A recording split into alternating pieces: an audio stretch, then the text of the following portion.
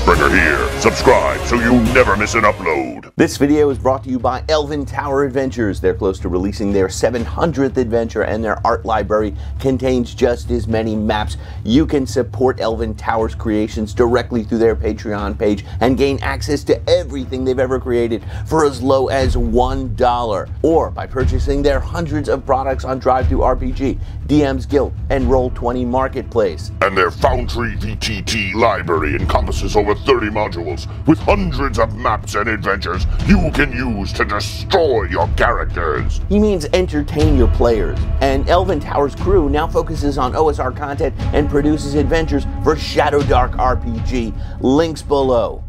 Welcome to Dungeon Craft. I'm Professor Dungeon Master, and this channel is about all things role playing games. And reviews are now trickling in about the new D&D VTT. Now, granted, this is just playtest. This is like pre-beta, but we are getting some information here, and I thought I'd synthesize it into one quick video. I've watched videos from Ted at Nerd Immersion. He gets into an in-depth video over the course of 35 minutes or so. We got Dungeons and Discourse weighed in, and Stephen Glicker from Roll for Combat. Uh, that show goes really into depth and it goes for about two hours or so. And they got Derek Melendez as a guest. And other people, other patrons and viewers of the channel have let me know what's going on with this VTT test. So I thought I'd share the information. The reviews are ranging from not good to uh, really bad. The best review I could find described it as not disappointing. I couldn't find anyone who said it was good, and I tried. I wanted to be fair. All of the people that have playtested have signed NDAs, but most of the information that I'm going to be talking about is just public information that everybody knew from the very first playtest. It's the same scenario we saw in the trailer where the D&D designers play and kobolds attack a tavern and an Ankheg attacks, and uh, there's really nothing new with this scenario, but we are starting to find out how the game actually plays. So here's the good. Ted points out you can import a character and miniatures, which is awesome, and it's got 3D miniatures, 3D landscapes, animated spell effects. It essentially looks like an interactive video game. Now, here's the bad. Ted points out there's no death animations, except I think for that Ankheg I mentioned.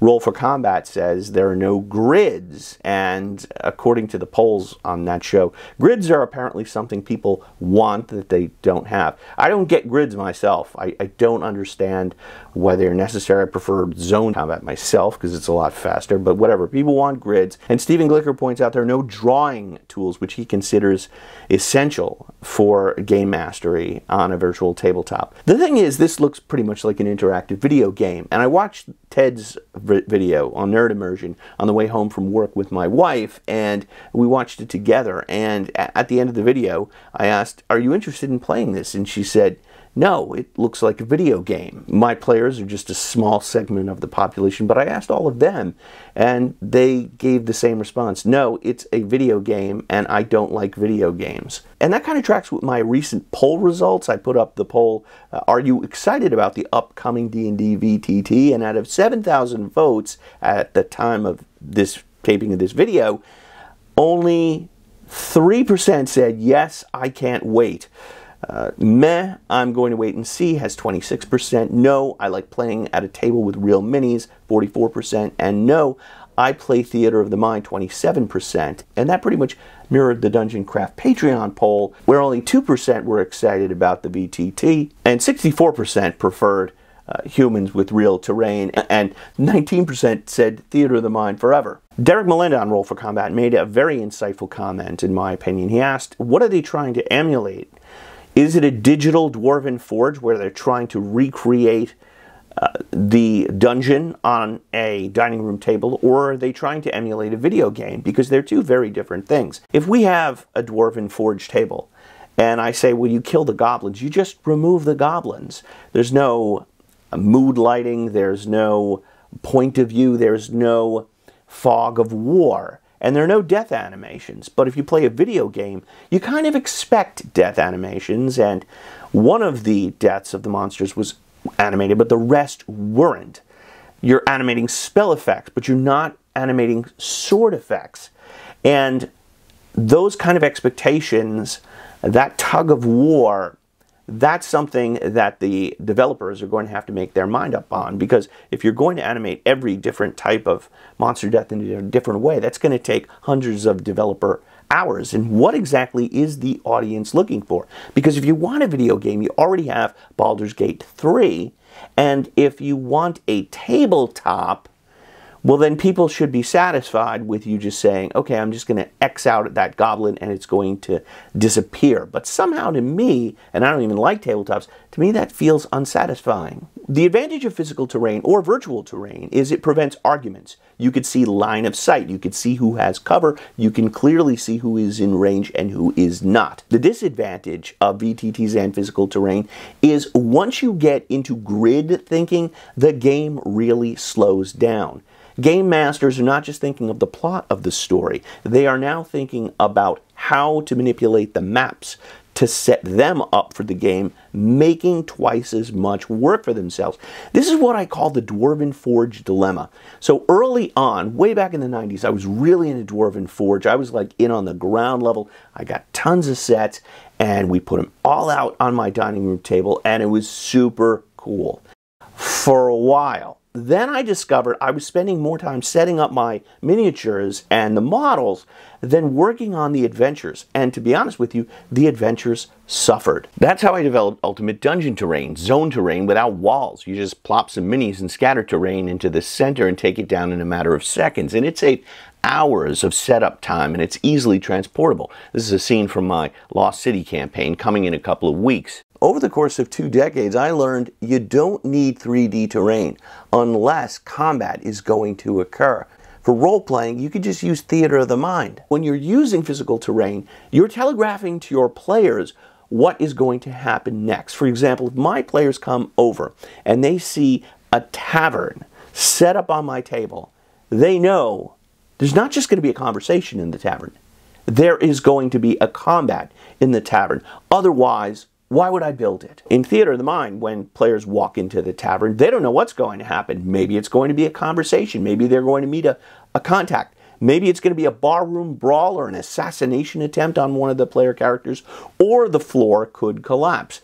But if you're using any kind of terrain, whether it's virtual or physical, you know something is going to happen in the tavern. You're not going to be really surprised. Look, I get the strengths of virtual tabletops. You can play with your friends over long distances. It also does the crunchy math for you, enabling you to play high-level games. That's one of the things that slows down high-level play is there's a lot of math involved and the computer can take care of that for you. But on the other hand, I think that the actual story of the game that you are playing is a lot more important than the terrain. And by all accounts, there's very little holding that story together in the sample dungeon. Ted points out there are kobolds in a temple roasting a human on a spit, but there's really no reason to go to the temple to investigate it. Clearly, at least in the playtest, Wizards of the Coast seems to be paying more attention to the digital environment than the story, and I think that's a trap. Now, whenever I talk about story elements, the old grognards start freaking out talking about, ah, story gamers messing up the game.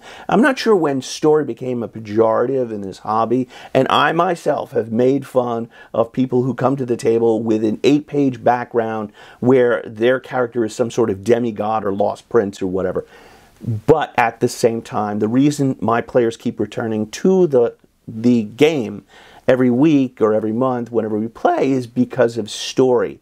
It's not the mechanics of the game. If the story isn't first in paramount, I think you still might have an audience, but it's going to be a very different sort of audience and it's going to be a very different, very limited sort of game. Now, one of the other responses, and this was pretty common in my polls, people said, well, I'm just going to keep playing on Fantasy Grounds or Owlbear Rodeo or Roll20 or, or whatever, and I, I'm not going to worry about it. But I, I don't know why you think that Wizards of the Coast is going to let you play the next iteration of Dungeons and Dragons on some other sort of platform. You could still play 5e on those things, but if you want the updated 5e with all the bells and whistles and the new spells and rules changes and updates, you're going to have to go to their virtual tabletop, which will only be accessible through D&D Beyond. I'm not saying it's going to happen right away, but I'm 100% certain that's where it's going. Would people get upset with Wizards of the Coast if they said, you know what, you can only play the new version of D&D on our virtual tabletop?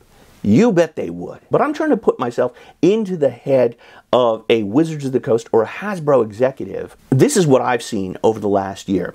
We revoked the OGL and everyone get, got upset and people canceled their D&D Beyond subscription and a lot of YouTubers got really angry for about a month. Now they're back to making videos about D&D and players are re-upping for D&D Beyond. They went right back continuing to play the same game. People in the poll even said that. They're like, I would play something else, but my players won't play anything else. There are some people that just won't play any game but D&D.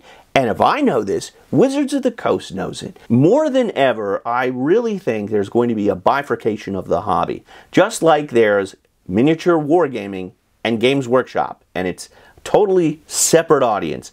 It's going to be role-playing games and Dungeons and Dragons and there's going to be a dividing line. There's going to be a curtain there, a walled garden, and the people who play Dungeons Dragons won't even know that this even exists. That is the world that Wizards of the Coast and Hasbro are striving to create.